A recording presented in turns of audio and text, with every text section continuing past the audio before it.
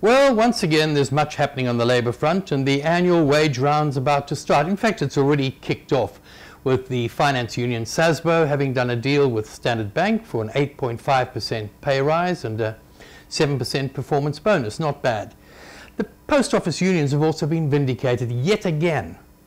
They're not the ones, the unions, who are creating a loss of jobs. It's incompetent, bungling management and this is what I was going to write about this week in my Inside Labour column, which you'll be able to get on this platform, Fin24 tomorrow, and uh, in print in the City Press on Sunday in the business section.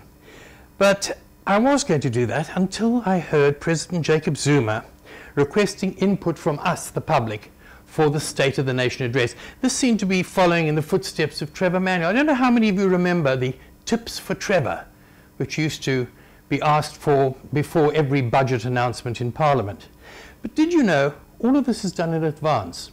The budget is already set in stone, so to speak, and the State of the Nation address is already worked out. So what it does do by asking for these tips or inputs to the State of the Nation is giving the impression of public involvement. And this caused, I don't know if it ever happens to you, get a song gets into your head, goes on and on, you just cannot remove it a line from a freedom song of the early 1960s that went, uh, the state of the nation, the freedom of the land shall be judged by the vote of man, oh yeah. Well, don't judge the vocal out, uh, output. Just think of the words. What did it actually say? What it actually seemed to imply was that once we had universal suffrage, votes for all, we would all have a direct say in what was going on.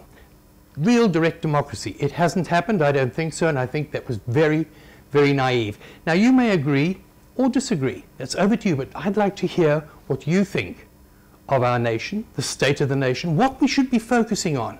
What is the most damaging aspect? What are the best aspects? Let me know. You can send your contributions to editor at fin24.com. That's editor at fin24.com. Because of this, I decided in my Inside Labour column to focus on the state of the nation and what I think about it. And you can comment on that too. I really would appreciate it. I want to hear your views and also why, for example, I feel it's quite a different state of the nation this year because all the TV stations and radio stations that are covering this event, which is normally a predictable and fairly boring thing, think they're going to be having massive record viewer and listenership ratios. So let's hear what you think about that. I'd like to hear from you, and you know what it is, it's at editor at fin24.com. So once again, from me this week, cheers.